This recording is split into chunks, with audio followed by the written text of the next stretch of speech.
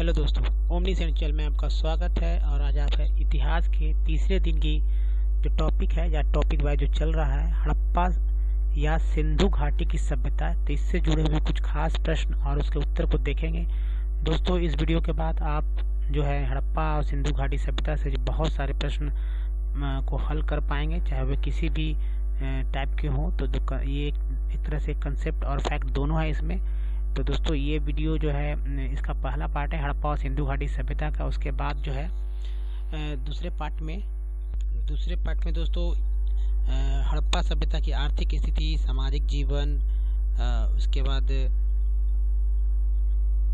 धार्मिक स्थिति, राजनीतिक स्थिति तो और व्यापार वाणिज्य से जुड़े हुए कुछ खास और जो, हड़प्पा सभ्यता की जो प्रमुख इमारतें हैं वहाँ की जो स्ट्रक्चर है, उससे संबंधित जो वीडियो की दूसरे वीडियो में होगी तो इस वीडियो में सिर्फ़ उन स्थलों को हड़प्पा के जो खास प्रमुख स्थल हैं, जहाँ पर खुदाई हुई, उनसे उनसे जुड़े हुए सारे प्रश्न उत्तर को इसमें शामिल किया गया है। दोस्तों, इसे शुरू इसे शुरू करने से पहले आपसे निवेदन है कि आप मेरे चैनल को सब्सक्राइब करें और अधिक से अधिक लाइक करें। तो दोस्तों, जितने लोग देखें, कम से कम उतने लोग अगर उनको पसंद आती है तो ज़रूर लाइक करें और शेयर करना नहीं बोलें तीन लोगों को ज़रूर शेयर करें। दोस्तों, आपकी सपोर्ट की आवश्यकता है। तो आइए शुरू करते हैं। दोस्तों, ये देखिए, इसमें टोटल जो है 80 प्रश्न को लिया गया है। तो जिसमें देखिए, अब बहुत इम्पोर्टेंट है क्वेश्चन बाई है। तो क्वेश्चन वाइज है और टॉपिक वाइज तो है ही, सिंधु घाटी की सभ्यता है। तो पहला प्रश्न है, सिंधु घाटी की सभ्यता कितना पुराना है? ये जानना बहुत ज़रूरी है। और दोस्तों ये सिंधु घाटी की सभ्यता जो है, पाँच सा, पाँच हज़ार ईस्वी जो है, वर्ष पुराना है। उसके बाद सिंधु घाटी सभ्यता को कब खोजा गया? तो पहली बार जो खोजा गया था, अठारह सौ छप्पन ईस्वी में इसके जो है आभास मिले थे कि इस तरह की सभ्यता जो है हड़प्पा में पाई जा, पाई गई है। तो हुआ था कि अठारह सौ छप्पन में ब्रिटिश भारत की हुकूमत ने मतलब जो ब्रिटिश ईस्ट इंडिया कंपनी थी तो कराची से लाहौर तक रेलवे लाइन बिछाने का, बिछाने के लिए उन्होंने ईंटों की बहुत ज़रूरत थी तो इसके लिए उन्होंने कुछ इन खंडों का हड़प्पा सभ्यता के जुड़े हुए कुछ, जो खंडर थे, उन खंडरों से वे ईंटें को ले रहे थे, लगातार ले रहे थे। तभी इसी दौरान उनको पता चला, ठीक है? नेक्स्ट है। हड़प्पा सभ्यता की खोज सबसे पहले कहाँ की गई? तो ये पाकिस्तान के पश्चिमी पंजाब के मोन्ट गोमरी ज़िले में तो मोन्ट गोमरी ज़िला है तो वहाँ वहाँ की गई है। जो कि मोन्टगोमरी ज़िला साहिवाल के ज़िले के नाम से जाना जाता है और ये रावी नदी के बाएँ तट पर है। नेक्स्ट है चार नंबर में हड़प्पा स्थल की खोज सर्वप्रथम किसने किया था? तो राय बहादुर दयाराम साहनी थे। उन्होंने किया था, यानी आर डी या, ठीक है, आर डी जो साहनी है राय बहादुर, दयाराम साहनी ने किया था, ठीक है। ये हुआ था 1921 ईस्वी में। इसकी खोज सबसे पहले और इनके बारे में कुछ खास बात ये है कि उस समय 1921 में जो पुरातत्व सर्वेक्षण विभाग के महानिदेशक थे वो सर जॉन मार्शल थे। तो उन, उनके ही निर्देशन में 1921 ईस्वी में जो राय बहादुर थे राय बहादुर दयाराम साहनी उन्होंने इस स्थान की खुदाई की। ठीक है नेक्स्ट है मोहनजोदड़ो की खोज सर्वप्रथम किसने किया था? तो मोहनजोदड़ो की खोज सर्वप्रथम जो है श्री राखल दास बनर्जी ने, आर डी बनर्जी ने किया था। ये अगले साल ही किया गया था और ये भी सर जॉन मार्शल के ही निर्देशन में किया गया था। तो ये 1922 में हुआ था और जब ये खोज हो गया तो जॉन मार्शल ने 1924 ईस्वी में 1924 ईस्वी में जो घोषणा किया कि मतलब इन स्थानों पे हड़प्पा सभ्यता नाम की कोई संस्कृति दबी हुई है। उसके बाद देखिए मोहनजोदड़ो कहाँ स्थित थे तो पाकिस्तान के सिंधु प्रांत, सिंध प्रांत है, सिंधु प्रांत हो गया, सिंध प्रांत के लड़काना ज़िले में है लड़काना ज़िले में ये पाया गया है मोहनजोदड़ो नेक्स्ट है हड़प्पा के किस स्थल पर बौद्ध स्तूप बने थे तो मोहनजोदड़ो जो था, जो वहाँ पर जो है बौद्ध स्तूल मतलब बौद्ध स्तूप था बना हुआ, उसी, क्योंकि इसमें कई बार निर्माण हुआ है तो इस स्थान पर जो है बौद्ध स्तूप की बना हुआ था तो बौद्ध स्तूप की खुदाई के समय इसी स्थान का पता चला है। तो बौद्ध स्तूप पहले खोदा गया तो पता चला कि मोहनजोदड़ो एक संस्कृति है, और इसके बाद है सिंधु घाटी सभ्यता के छह प्रमुख नगर कौन कौन से हैं? तो सिंधु घाटी सभ्यता के छह प्रमुख नगर जो है, ये हड़प्पा एक नंबर में है। सबसे पहले इसी को खोजा गया था। नेक्स्ट जो है मोहनजोदड़ो है, उसके बाद चन्हू है चन्हू के बाद जो है लोथल है और लोथल के बाद कालीबंगा और उसके बाद बनवाली। तो ये थे छह प्रमुख नगर। इसके अलावा भी बहुत सारे नगर खोजे गए हैं। ठीक है?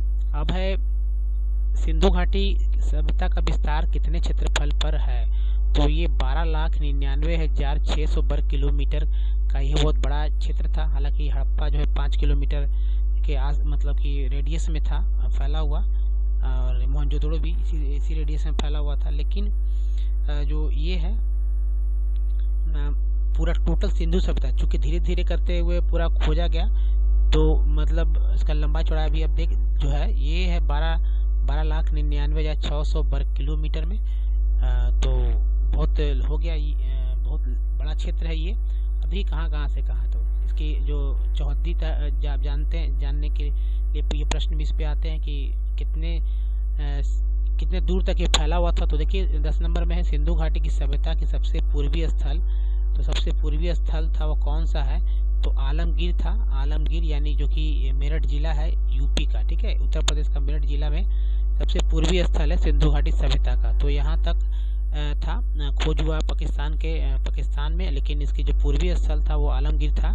ये हिंडन नदी की, हिंडन नदी के, हिंडन नदी किनारे था और हिंडन नदी जो है यमुना की सहायक नदी है। ठीक है ग्यारह नंबर में सिंधु घाटी सभ्यता का सबसे पश्चिमी पूरा स्थल। तो अब देखिए, पूर्वी था तो सबसे पश्चिम, पश्चिमी पूरा स्थल था सुत कांगे, सुत कांगेडोर जो कि दक्षिणी बलूचिस्तान में है और ये पाकिस्तान का पाकिस्तान में दक्षिणी बलूचिस्तान पड़ता है। बारह नंबर में है सिंधु घाटी सभ्यता के सबसे उत्तरी स्थल तो ये है मांदा जिला। मांदा है जिला खनूर है, जम्मू कश्मीर में है ये, ठीक है, मांदा। जो है सबसे उत्तरी स्थल है सिंधु घाटी की फिर सिंधु घाटी का सबसे दक्षिणी स्थल जो है भगत राव है ठीक है भगत राव है। दोस्तों सिंधु घाटी सभ्यता का जो आकार है वो जो बारह बारह लाख निन्यानवे या छः सौ का ये क्षेत्र है ये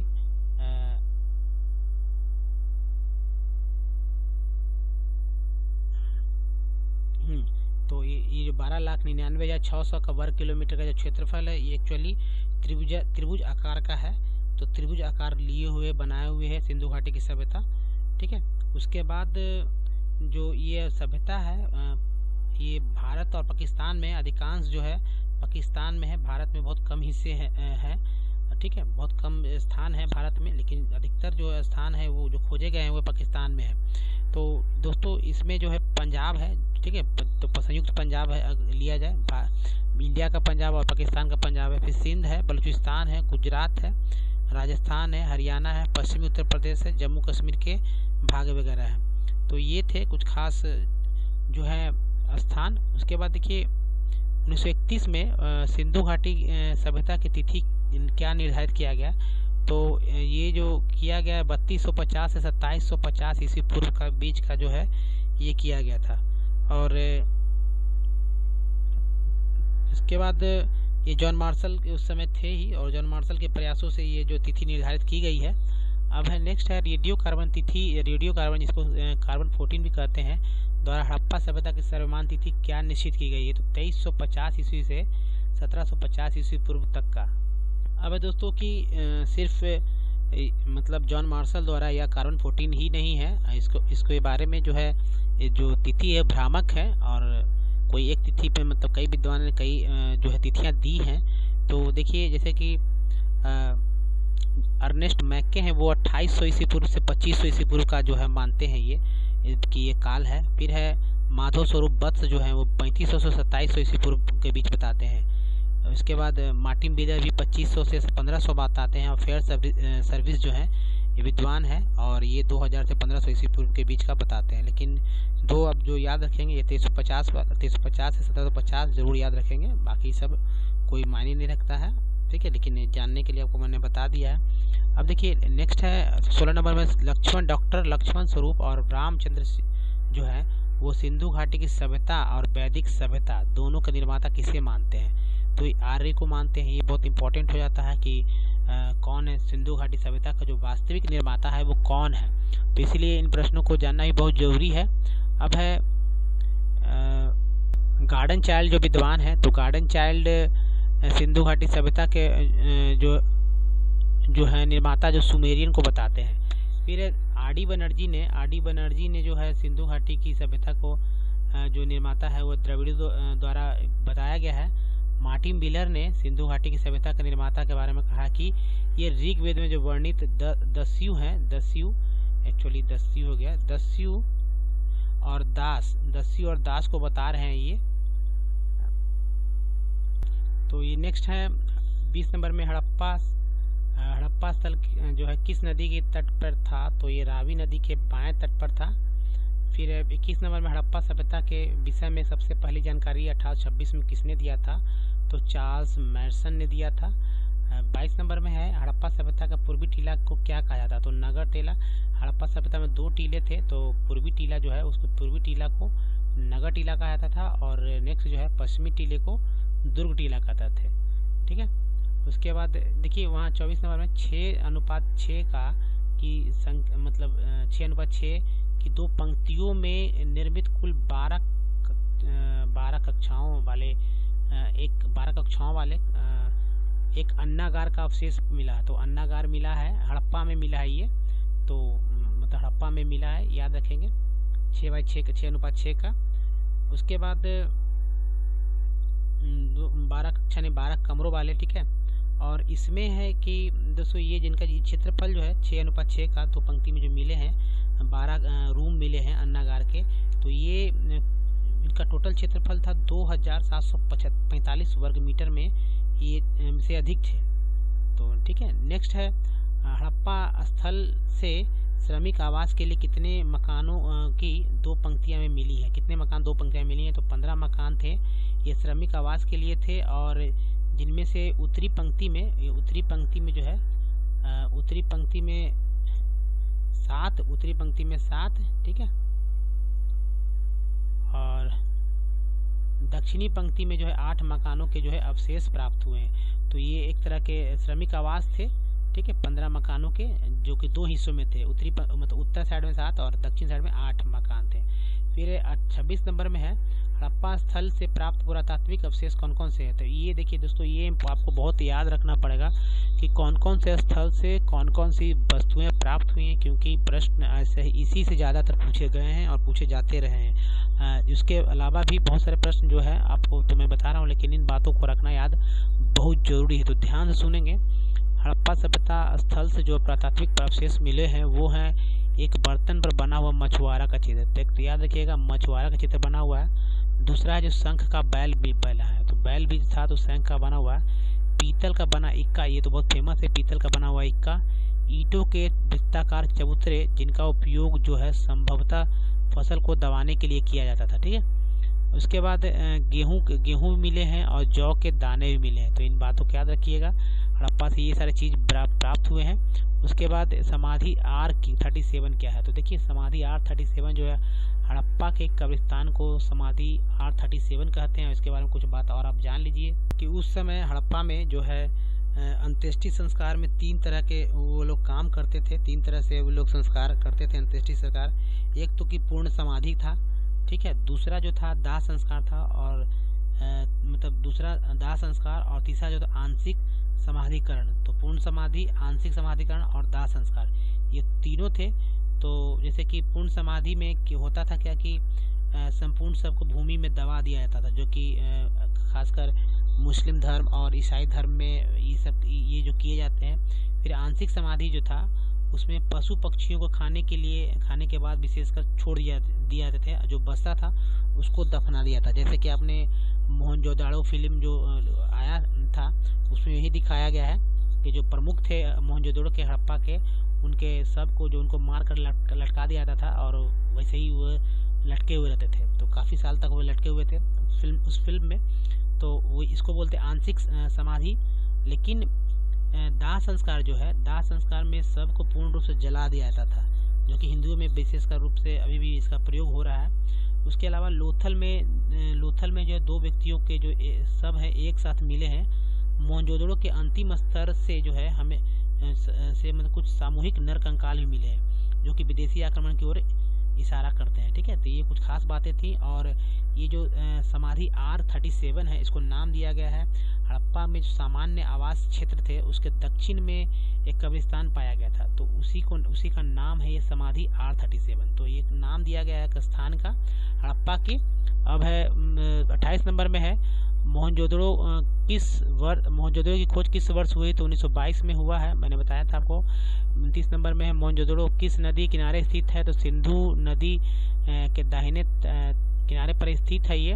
हड़प्पा में, हड़प्पा को जुड़वा राजधानी किसे, हड़प्पा की जुड़वा राजधानी किसे कहा है? तो मोहनजो मोहनजोदाड़ो को कहा गया है, जुड़वा राजधानी।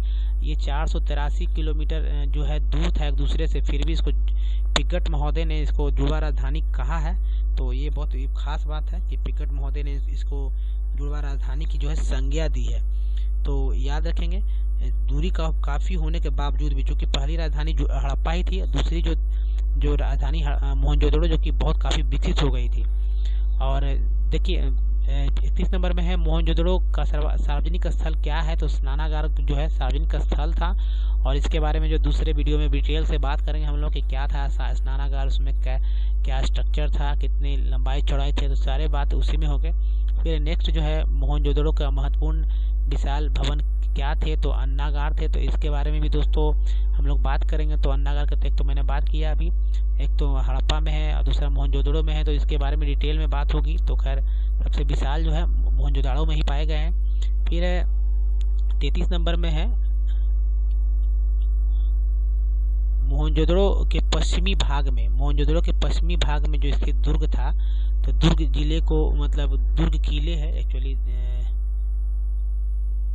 दुर्ग किले को क्या कहा जाता था? कहा जाता था तो स्तूप किला कहा जाता था। तो जो मोहनजोदड़ो के पश्चिमी भाग में जो स्थित दुर्ग था, दुर्ग किला, उसको स्तूप किला कहा जाता था।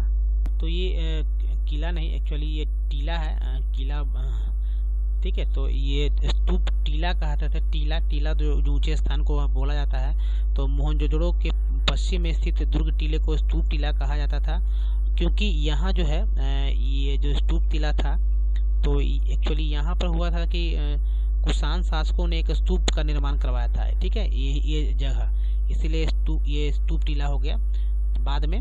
तो कुषाण शासकों द्वारा एक निर्माण करवाया गया था इसका। उसके बाद है मोहनजोदड़ो से प्राप्त प्रमुख अवशेष क्या क्या थे? तो कुंभकार जो है, यानी कुम्हार के छह भट्टे मिले हैं जिसपे बर्तन वगैरह बनाए जाते होंगे, ऐसा अनुमान है। फिर सूती कपड़ा मिला है, यानी कॉटन का कपड़ा का इस्तेमाल उस समय किया जाता था मोहनजोदड़ो में। और हाथी का जो है कपाल खंड मिला। तो हाथी का जो है सर मिला है, बड़ा सा। फिर गले हुए तांबे के ढेर मिले हैं। सीपी की बनी हुई जो है पटरी मिली है, पटरी यानी स्केल ठीक है? पटरी यानी स्केल और कांसे के नृत्य रत्न नारी की मूर्ति जो कि मोहनजोदड़ो की सबसे फ़ेमस मूर्ति यही है, कांसे के नृत्य रत्न नारी की मूर्ति। और दोस्तों मोहनजोदड़ो जो है हड़प्पा सभ्यता जो है कांस्य युगीन सभ्यता थी। तो इस बात को आप ध्यान रखेंगे कि ये जो है ये कांश योगीन सभ्यता थी। तो उसके बाद चनुधड़ो, देखिए चनुधड़ो के बारे में जान लीजिए चनुधड़ो कहाँ स्थित है? तो ये मोहनजोदड़ो के दक्षिण पूर्व में 130 किलोमीटर दूर जो है, ये चनुधड़ो नामक स्थान था। और चनुधड़ो की खोज जो है सर्वप्रथम की गई थी, किया था गोपाल मजुमदार ने। और गोपाल मजुमदार उन्नीस में इसकी खोज किया था उन्नीस में। और छत्तीस, सैंतीस नंबर में है सिंधु घाटी सभ्यता में गुड़िया निर्माण हेतु एक कारखाना के अवशेष मिले हैं इसी से।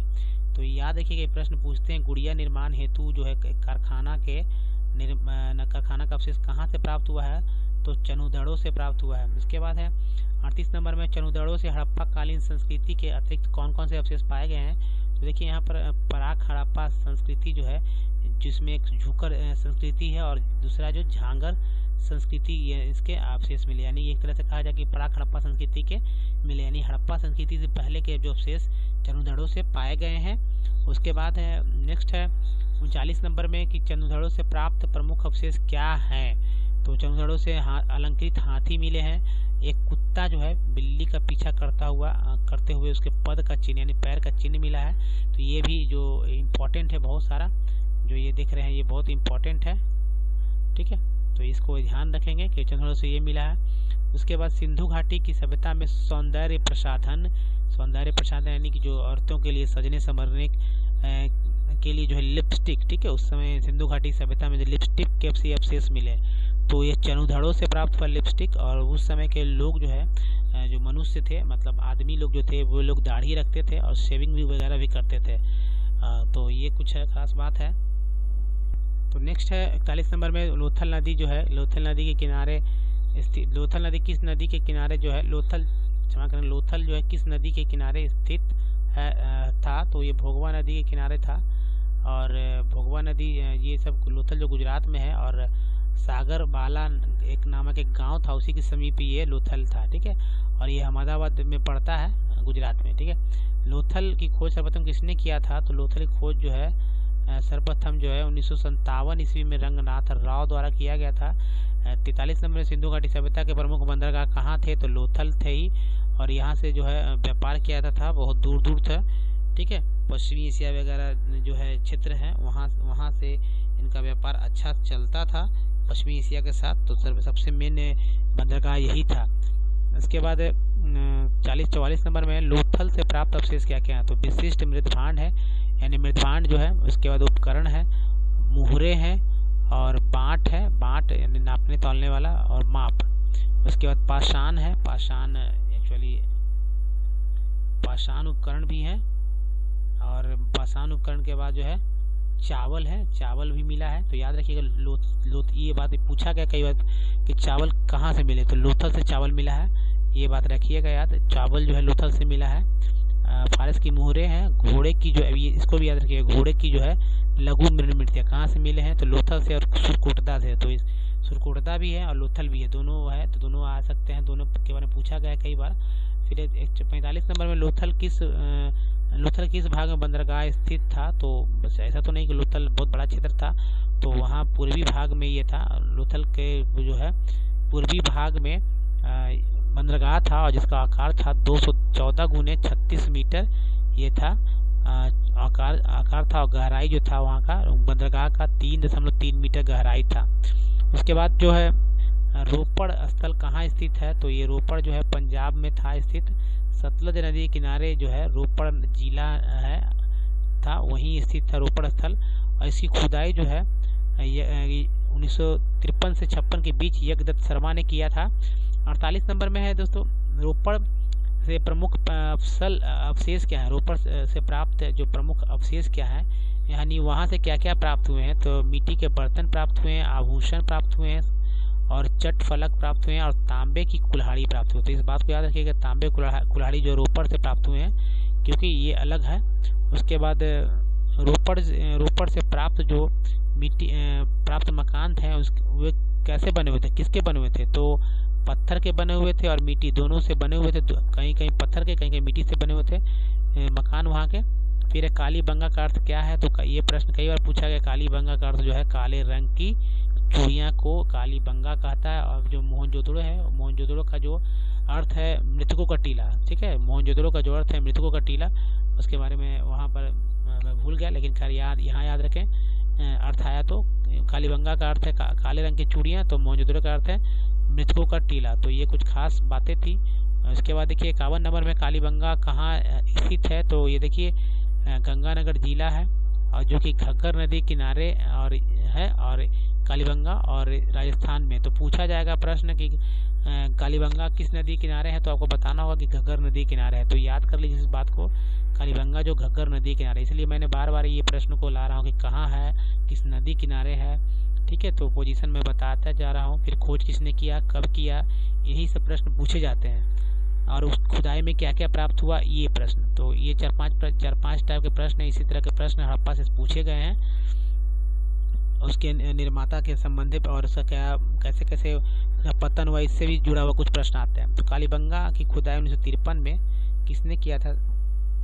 तो बीबी लाल एवं बी के थापर ने किया था। फिर तिरपन नंबर में कालीबंगा की कौन सी कालीबंगा से कौन सी संस्कृतियाँ पाई गई हैं? तो देखिए, कालीबंगा जो है प्राक हड़प्पा संस्कृति के लिए जाना जाता है। तो प्राक हड़प्पा संस्कृति जो है, यहाँ पाई गई है। तो इसलिए इम्पोर्टेंट हो जाता है ये कालीबंगा। और प्राक हड़प्पा संस्कृति जो है, कोट डीजी से भी पाई गई है। तो दो बात, दो याद रखेंगे। प्राक हड़प्पा सभ्यता जो है, कालीबंगा और कोट डीजी से पाई गई है। हालाँकि चंद्रधड़ों का भी तो थोड़ा सा था इसमें। जो मैंने ऊपर बताया है, आपको देखिए, देख लीजिएगा। चौवन नंबर में कालीबंगा के भवनों में किस तरह के ईंटों का प्रयोग किया गया है? तो कच्ची ईंटों का प्रयोग किया गया है, ठीक है? कच्ची ईंटों का प्रयोग किया गया इसमें। ये कच्ची ईंटें दोस्तों तीस गुने बीस गुने दस सेंटीमीटर आकार के होते थे। तो यहाँ से जो ईंटें प्राप्त हुए कालीबंगा से, उसका आकार है तीस गुना दस गुना, तीस गुना बीस गुना दस, यानी तीस, बीस, दस सेंटीमीटर आकार के ये जो है यहाँ पर कच्ची ईंटें मिले हैं और सभी मकान जो है कच्ची ईंटों से ही बनाए गए हैं कालीबंगा में। उसके अलावा जो है, नाली पर नाली और कुओं में पक्की ईंटों का प्रयोग किया गया। ठीक है, मकान कच्ची ईंटों के, लेकिन नाली और जो कुएँ थे, वे पक्की ईंटों से बने थे और यहाँ पर जो है, कुछ अलंकृत ईंटें भी मिले यानी कि नक्काशीदार ईंटों का प्रयोग यहाँ कालीबंगा में ही किया गया है। तो इन बातों का ध्यान रखेंगे। उसके बाद पचपन नंबर में है प्राग हड़प्पा जो सभ्यता है। प्राग हड़प्पा संस्कृति के जूते हुए आ, मतलब प्राग हड़प्पा संस्कृति के जूते हुए सच कहाँ से प्राप्त हुए तो कालीबंगा से है।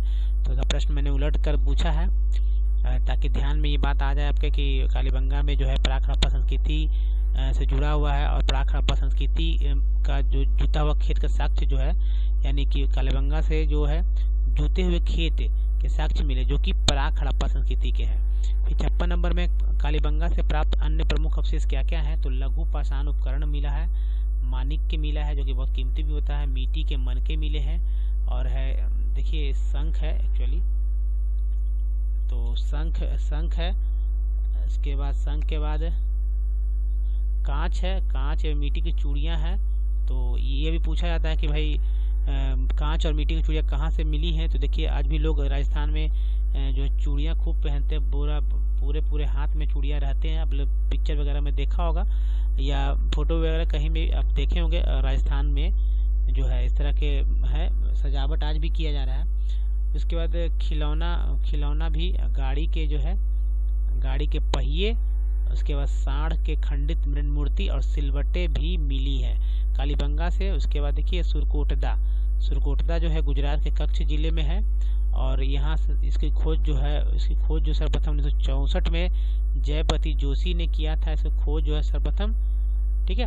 और यहाँ से भी मिले घोड़े के जो अवशेष मिले हैं। तो सिंधु घाटी सभ्यता, लेकिन एक प्रश्न ये भी देखिए सिंधु घाटी सभ्यता के पतन के अवशेष, सिंधु घाटी सभ्यता के पतन के अवशेष कहाँ से परिलक्षित होते हैं तो ये परिलक्षित जो होते हैं, सुरकोटदा से होते हैं। सुरकोतड़ा भी कई जगह बोलता है लोग, सुरकोटदा को सुरकोतड़ा भी बोलते हैं। तो सुरकोटदा से प्राप्त जो है, प्रमुख अवशेष क्या क्या है? तो देखिए, घोड़े के अवशेष वहाँ जो मैंने बताया था, ठीक है, घोड़े के अवशेष यहाँ से मिले हैं और एक अनोखी कब्र का भी मिला। तो ये एक तरह से इम्पोर्टेंट हो जाता है सुरकोटदा, ये प्रश्न पूछे जाएँगे। तो आपको बताना होगा, आलमगीर की खोज उन्नीस में किसने की थी? तो आलमगीर जो है, ये यूपी का है, ठीक है, मेरठ जिला में। इसकी खोज उन्नीस में यज्ञदत्त शर्मा ने किया था, ठीक है, याद रखेंगे। और आलमगीर जो है सैंधव सभ्यता किस अवस्था को सूचित करता है? तो ये सिंधु घाटी सभ्यता के जो अंतिम फ़ेज़ लास्ट फ़ेज़ के बारे में ये सूचित करता है। फिर, आलमगीर आलमगीर से प्राप्त प्रमुख अवशेष क्या क्या है? तो दोस्तों, आलमगीर से जो प्राप्त अवशेष हैं वो मिट्टी के बर्तन और मन मनके और पिंड है तो कुछ खास नहीं है, लेकिन फिर भी याद रखेंगे चूँकि यूपी से जुड़ा हुआ है। और रंगपुर रंगपुर किस नदी के किनारे, ये भी एक हड़प्पा सिंधु घाटी सभ्यता का एक स्थल है तो ये मादर नदी के समीप स्थित है। और रंगपुर कहाँ स्थित है भाई? तो ये काठियावाड़ जो, काठियावाड़ प्रायद्वीप है गुजरात का, वहाँ वहाँ है रंगपुर। ठीक है, रंगपुर स्थल। रंगपुर की खुदाई किसने की थी? तो ये रंग रात, रंगपुर भी है, रंग से। रंगनाथ राव ने किया था उन्नीस सौ तिरपन चौवन में। तो याद भी हो जाएगा कि रंगपुर की खुदाई जो है, रंगनाथ राव ने उन्नीस तिरपन चौवन में किया है। अब रंगपुर से जो प्राप्त तो कौन कौन से अवशेष हैं तो कच्ची, देखिए, कच्ची ईंटों के दुर्ग मिले हैं, नालियाँ मिली हैं, मृदभांड मिले हैं तो खैर मृदभांड सब जगह मिले हैं। बाँट है पत्थर के फलक हैं, ठीक है, इसके अतिरिक्त जो है सबसे इम्पोर्टेंट है धान की भूसी के ढेर। तो आप इसको याद रखना होगा, रंगपुर से धान की भूसी के ढेर मिले हैं क्योंकि ये प्रश्न परीक्षाओं में पूछे जा चुके हैं। अब इसके देखिए अड़सठ नंबर में है, रंगपुर स्थल से, रंगपुर के स्थल हड़प्पा संस्कृति की कौन सी अवस्था के साक्ष्य प्राप्त होते हैं? तो रंगपुर स्थल से जो है, हड़प्पा संस्कृति के उत्तरोत्तर हड़प्पा संस्कृति के साक्ष्य मिले हैं। याद रखिएगा, उत्तरोत्तर हड़प्पा संस्कृति के साक्ष्य मिले हैं। हड़प्पा के बाद की अवस्था भी रंगपुर से मिले हैं। उसके बाद बनवाली जी के बारे में देखेंगे हम लोग। बनवाली की खोज किसने की थी? तो ये भी इम्पोर्टेंट है, जैसे कालीबंगा इम्पोर्टेंट है, उसी तरह बनवाली, ठीक है? तो बनवाली की खोज जो है रविंद्र सिंह बिष्ट ने उन्नीस सौ तिहत्तर चौहत्तर में किया था, ठीक है? बनवाली खोज। और ये हरियाणा में है, और बनवाली बनवाली से जो है कितने संस्कृतियाँ के साक्ष्य प्राप्त हुए हैं? तो दो हैं, एक प्राक हड़प्पा का तो मैंने बताया ही है, दूसरा हड़प्पा कालीन संस्कृति। तो हड़प्पा कालीन संस्कृति में तो ये आता है, लेकिन वहाँ के प्राक खड़प्पा में तो वहाँ मतलब बनवाली में और कालीबंगा, दो ही जगह, और कोरदीजी में भी है। तो इंडिया में जो है, अब तो इंडिया में है ये तो बनवाली जो कि हरियाणा और कालीबंगा राजस्थान तो प्राक हड़प्पा ये हो गया। अब पाकिस्तान का क्षेत्र चला गया कोटदीजी तो वहाँ भी प्राक हड़प्पा के साक्ष्य प्राप्त हुए हैं। नेक्स्ट है, इकहत्तर नंबर में, बनवाली से प्राप्त अवशेष क्या क्या है? तो अच्छे किस्म के जौ, याद रखिएगा, जौ मिले बनवाली से। मिट्टी के बर्तन, गोली जो अब कांच की गोलियाँ जो होती हैं तो वो गोलियाँ हैं कांच की गोलियाँ। मनके हैं मनुष्यों और पशुओं की मूर्तियाँ हैं ठीक है पर्थ के फलक हैं और कार्नेलियन कार, कार्नेलियन के मनके हैं। तांबे का वानाग्र है और हल आकृति के जो है खिलौने आदि भी मिले हैं इसी से बनवाली से। हल हल आकृति के खिलौने मिले हैं। तो इम्पोर्टेंट है दोस्तों याद रखिए इसमें से खास देखिए कार्नेलियन के जो है मनके याद रखिए आप। फिर है मीट गोलियाँ याद रखिए ये सब बाकी तो अब याद है गोलियाँ और अच्छे किस्म के जौ को याद रखिए इसमें, ठीक है, और हल की जो आकृति के जो है खिलौने को याद रखिए। ये सब इम्पोर्टेंट है, बाकी तो आप गैस गैस जो है डॉट मतलब एक से तुक्का भी मार सकते हैं उसमें, अगर इस तरह पूछा गया तो। फिर नेक्स्ट देखिए इसमें इकहत्तर का बहत्तर नंबर है अली मुराद। ये अली मुराद भी एक स्थल ही है और इससे प्रमुख जो अवशेष मिले हैं। वो है मिट्टी के बर्तन कार्नीलियन के जो है मन के पत्थरों के निर्मित, जो पत्थरों से निर्मित किया गया विशाल दुर्ग और बैल के लघु मृण मूर्ति, ये भी याद रखेंगे, और कांसे की कुल्हाड़ियाँ। तो इसमें यही इम्पोर्टेंट है, कांसे की कुल्हाड़ियाँ इम्पोर्टेंट है तो बैल के लघु मृण मूर्ति। फिर देखिए, तिहत्तर नंबर में सुध कांगे डोर किस नदी के किनारे स्थित है? तो दासक नदी किनारे स्थित है, ये दक्षिणी बलूचिस्तान में है, पाकिस्तान के सुध कांगेडोर सबसे आप जानते ही हैं, सबसे पश्चिमी स्थल है। तो ये याद रखिएगा। उसके बाद चौहत्तर नंबर में सुध कांगेडोर की खोज जो है, उन्नीस सौ सत्ताइस ईस्वी में किया गया है औरल स्टाइन द्वारा। तो औरल स्टाइन ने किया है सुध कांगेडोर की जो खोज। उसके बाद पचहत्तर नंबर में हड़प्पा संस्कृति के परिपक्व अवस्था का अवशेष, हड़प्पा संस्कृति के परिपक्व अवस्था का अवशेष किस स्थल से प्राप्त हुए हैं? तो यही सुतकांग डोर से प्राप्त हुआ है। उसके बाद देखिए नेक्स्ट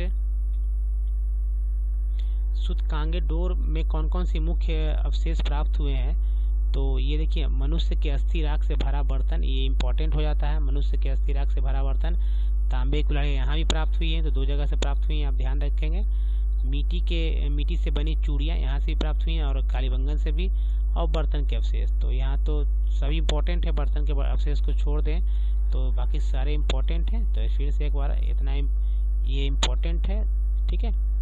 इसको, ये उतना, नहीं भी चले, याद रखिए तो चलेगा, लेकिन ऊपर वाला जो है, आपको याद रखना होगा कोट दीजी कहाँ है? तो कोट दीजी दोस्तों मैंने बताया था आपको तो कोट दीजी ये सिंध प्रांत में है और खैरपुर में है, सिंध प्रांत के खैरपुर में है, और कोट दीजी को सर्वप्रथम किसने खोज किया था? तो खोज करने वाले थे 1935 में हुआ खोज, और घुर्रे नामक एक व्यक्ति थे अंग्रेज़ घुर्रे उन्होंने किया ही कोटदीजी का खोज खोज हुआ है।